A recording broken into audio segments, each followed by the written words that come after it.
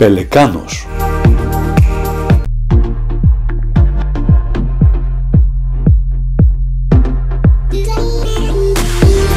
Ο πελεκάνος έχει μεγαλύτερο σώμα από την αγριόπαπια. Στο κεφάλι έχει μία φούντα από άσπρα φτερά και το ράμφος του είναι αλόκοτο, χοντρό και μακρύ.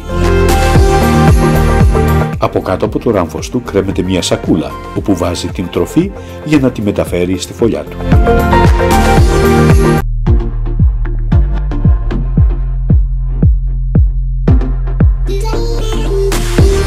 Ο πελεκάνος είναι αποδημητικό πτηνό.